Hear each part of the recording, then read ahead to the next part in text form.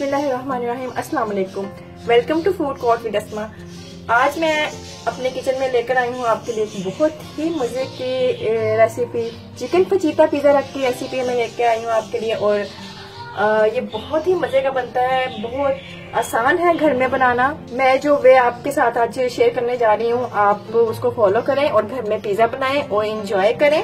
और मुझे अपने फीडबैक ज़रूर दीजिएगा। तो चलिए स्टार्ट करते हैं। आगे बढ़ने से पहले प्लीज़ हमारा चैनल ज़रूर सब्सक्राइब करें बेल आइकन पर क्लिक करें और हमारी हर आने वाली वीडियो को लाइक करें शेयर करें और कमेंट बॉक्स में अपनी राय का इजहार ज़रूर करिएगा। सबसे पहले पिज्जा की डो हम रेडी करेंगे और डो बनाने के लिए सबसे पहले हमें नीम गर्म पानी लेना है, तकरीबन थ्री फोर्थ कप पानी हम नीम गर्म लेंगे, बहुत ज़्यादा गर्म नहीं लेना और बहुत ज़्यादा ठंडा भी नहीं लेना। अगर ठंडा लेंगे तो ये इफ़ेक्टिव नहीं होगी और अगर बहुत ज़्यादा गर्म ले लिया तो ये स्किल हो जाएगी मतलब वो डेड हो जाएगी। वो अपना जो उसका राइजिंग इफ़ेक्ट है वो बिल्कुल भी नहीं देगी। तो बिल्कुल ऐसा जिसमें हमारे सॉफ्ट जो गर्म होता है नीम गर्म जिसे बोलते हैं, उसमें हम one tablespoon sugar add करेंगे। और इसको अच्छे से मिक्स करेंगे। और साथ ही हम वन टेबल स्पून ईस्ट का शामिल करेंगे। किसी भी अच्छे ब्रांड की इंस्टेंट ईस्ट आप यूज़ कर सकते हैं। अब इसको हम अच्छे से मिक्स करेंगे। ईस्ट अच्छे से हमने पानी में मिक्स कर ली है और अब हम इसको थोड़ी देर के लिए तकरीबन दस से पंद्रह मिनट के लिए छोड़ देंगे। अब हम मैदा लेंगे। टू कप इसमें हम शामिल करेंगे half teaspoon salt one tablespoon milk powder dry milk powder किसी भी आप अच्छी ब्रांड का यूज़ कर सकते हैं। सबसे पहले इन ड्राई इंग्रेडिएंट्स को हम मिक्स कर लेंगे।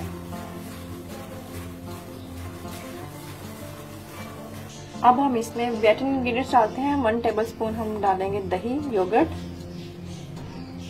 one and half tablespoon हम डालेंगे ऑलिव ऑयल अब इनको अच्छे से मिक्स करेंगे। अब हम शामिल करेंगे ईस्ट का लिक्विड जो हमने बना के रखा हुआ साइड पर। ये देखिए, मैं आपको दिखाऊँगी। ये देखें माशाल्लाह कितना फ्लफी हो रहा है। इट मीन्स ये अच्छे से राइस राइस करेगा हमारी डो को। तो अब आप ये तमाम लिक्विड अंदर डाल दें और इसको अच्छे से मिक्स करें। इसके अलावा अगर आपको पानी की ज़रूरत पड़े तो आपने नीम गर्म पानी अलग से यूज़ करना है, ठंडा पानी नहीं यूज़ करना।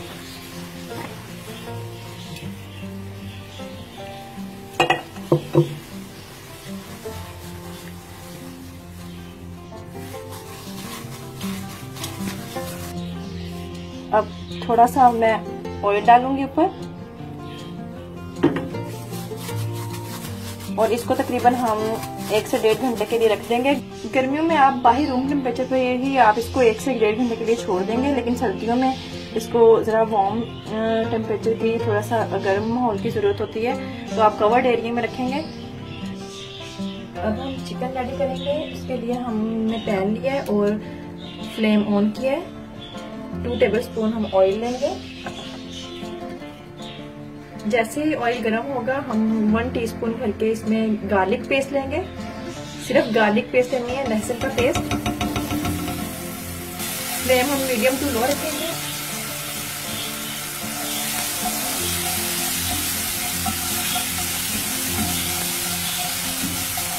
चिकन ऐड कर देंगे। चिकन है 300 ग्राम इसको हमने जुलियन कटिंग में कट कर लिया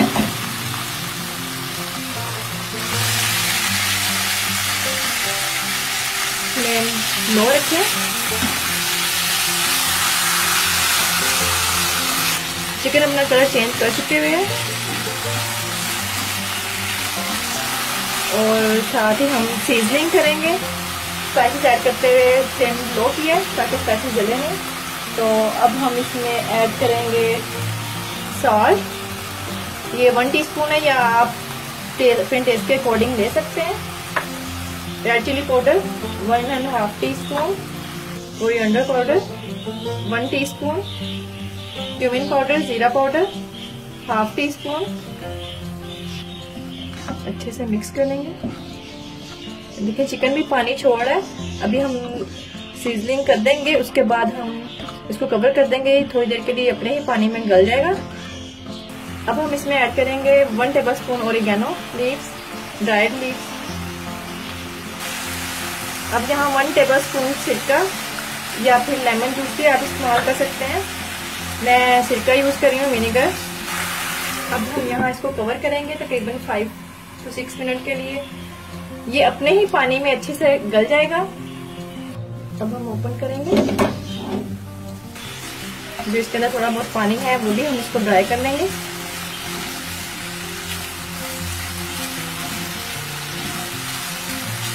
अब हम इसमें अपनी वेजिस ऐड करेंगे। वेजिस आप अपनी पसंद की ले सकते हैं, जो भी आपको पसंद हो। तो यहाँ हम वेजिस ऐड करेंगे। इसमें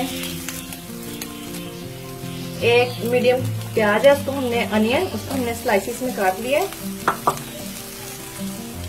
और कैप्सिकम सबज शिमला मिर्च, इसको भी हमने जूलियन कटिंग में कर दिया कट। मशरूम, ये थोड़ी लिए हमने कटिंग करके।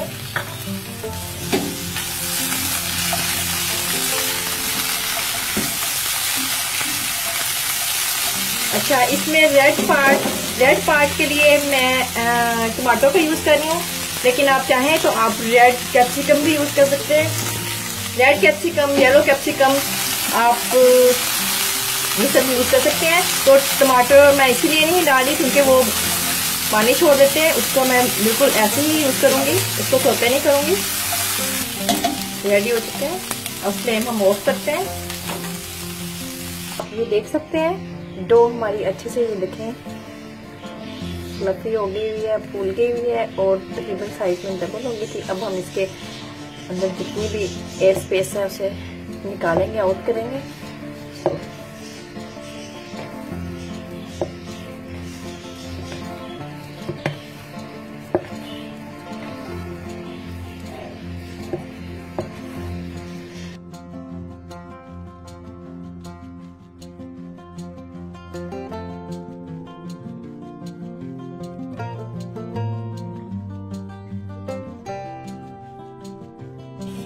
हमारा पिज़्ज़ा पैन है। सबसे पहले मैं इसको ग्रेस करूँगी ऑयल के साथ।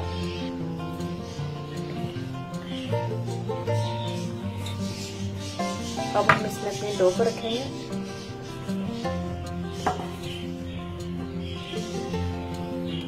अब हम फॉक के साथ रोल्स कर लेंगे दूसरी तरफ़ हमने ओवन को प्रीट होने प्री हीट होने के लिए चला दिया हमेशा जब भी आप बेक करें पिज़्ज़ा ओवन को पहले से ही चला दें प्री हीट ओवन का यूज़ करें, वरना पिज़्ज़ा अच्छे से बेक नहीं होगा।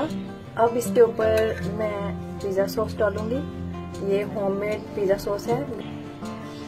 बहुत कम भी नहीं लगाइए पिज़्ज़ा सॉस और बहुत ज़्यादा भी नहीं लगाएँ।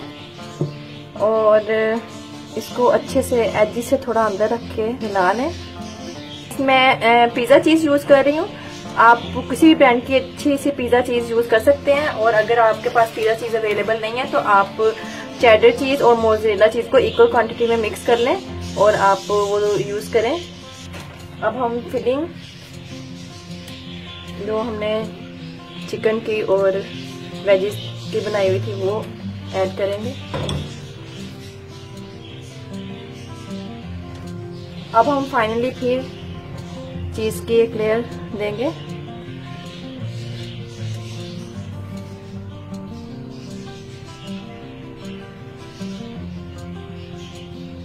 अब पासले पाउडर बिल्कुल आप स्प्रिंकल कर दें चुटकी देकर एक दो चुटकी। ये बहुत ही अच्छा मज़े का फ्लेवर चीज़ें को देते हैं। अगर आप थोड़ा स्पाइस पसंद करते हैं तो चिली फ्लेक्स यूज़ कर सकते हैं, ऊपर स्प्रिंकल कर दें ये भी। थोड़ा, और अगर नहीं तो कोई मसला नहीं है, आप पे डिपेंड करता है। और एंड पे ओलिव्स ब्लैक ओलिव्स पे हम इसके एजिस को एक दफ़ा ऑयल की कोटिंग करेंगे। ओवन को मैंने तकरीबन 30 मिनट पहले ऑन कर दिया था। ओवन अब प्री हीट हो चुके हैं तो हम इसे पिज़्ज़ा को ओवन में रखते हैं। इसको आप 200 डिग्री सेंटीग्रेड पर 200 डिग्री सेंटीग्रेड पर आप पिज्जे को तकरीबन 15 मिनट के लिए बेक करेंगे तो ये अच्छे से बेक हो जाएगा। ओवन में हमने रख दिया है। हमारा पिज़्ज़ा बेक हो चुका है बहुत ही अच्छा। आप देख सकते हैं। अगर आप चाहते हैं कि चीज़ को अच्छे से ब्राउनिश कलर आए तो आप जो ऊपर की, ओवन की ऊपर की ग्रिल होती है, दो से तीन मिनट आप वो ग्रिल ऑन कर दें तो इससे चीज़ बहुत अच्छे से ब्राउन हो जाएगी। बहुत गर्म है, आप ग्लव्स का यूज़ ज़रूर करें, वरना आपके हाथ जल सकते हैं।